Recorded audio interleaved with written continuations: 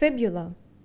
The fibula is a long bone found in the lower limb and is situated on the lateral side of the leg.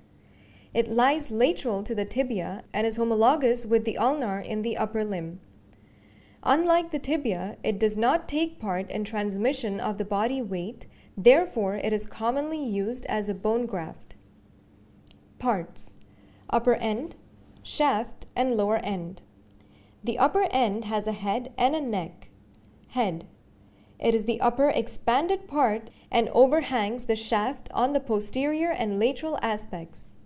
It has a circular facet which articulates with the fibular facet on the lateral condyle of the tibia.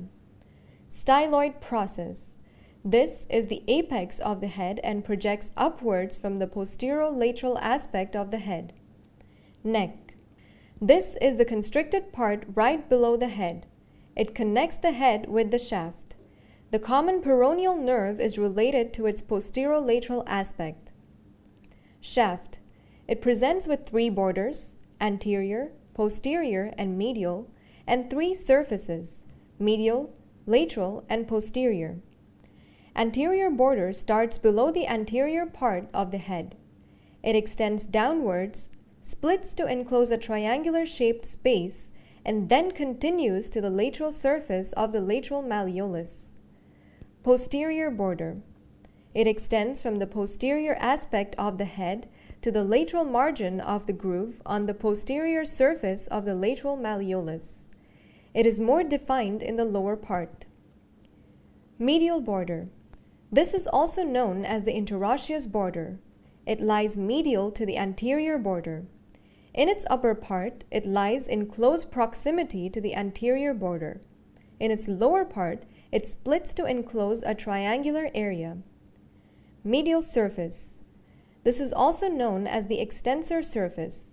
It lies between the anterior and medial borders. The lateral surface is also known as the peroneal surface. It lies between the anterior and posterior borders. The posterior surface is also known as the flexor surface.